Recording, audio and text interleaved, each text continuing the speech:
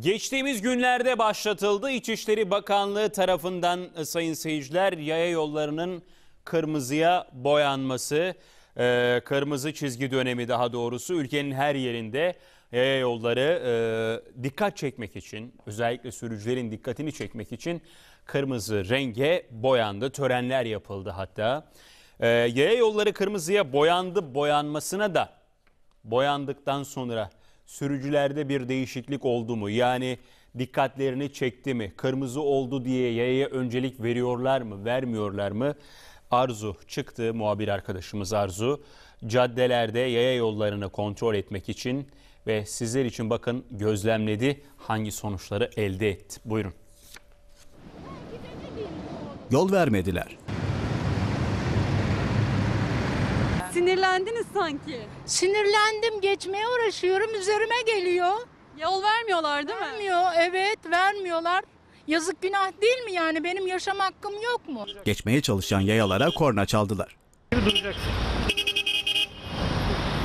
Geçtiğimiz günlerde tüm yurtta yaya geçitlerinde kırmızı çizgi uygulaması başlatıldı. Yaya yolları kırmızıya boyandı. Yaya geçişlerinin öncelikli olduğuna vurgu yapıldı. Fakat boyanan yaya yollarına rağmen değişen hiçbir şey olmadı. Sürücüler yine bildiğini okudu. Bizim insanımız için rengin bir önemi yani en azından yaya geçitlerinde olduğunu düşünmüyorum. Ya genelde sürücüler anlayış göstermiyor bu konuda. O yüzden beklememiz gerekiyor can güvenliğimiz için.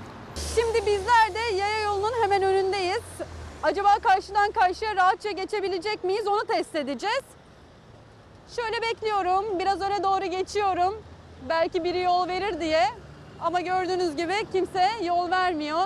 Şöyle bir adım daha atacağım. Kendimi biraz riske atarak. Bir adım daha attım. Araç yoğunluğu azaldı ancak öyle geçebildim karşıdan karşıya. Yaklaşık 10 araç falan geçti önümden. Ee, kimse de yol vermedi. Hani yol vermiyorlar ama biraz atlamak gerekiyor ki dursunlar. Yoksa 10 dakika bile bekletirler insanı yani. Araçlar yayaların değil, yayalar araçların geçmesini bekledi. Kurallar yine tersine işledi. Sadece bekliyoruz geçmelerini sonra bize yer veriyorlar. Sıra. Çok beklediğiniz oluyor mu? Bir 10 dakika oluyor bazen. Yol verirken yaya geçidi olmasa dahi yol verirken yaya geçitlerine en çok dikkat eden bence kadınlar. Daha fazla video izlemek için kanalımıza abone olabilir, ilk izleyen olmak isterseniz bildirimleri açabilirsiniz.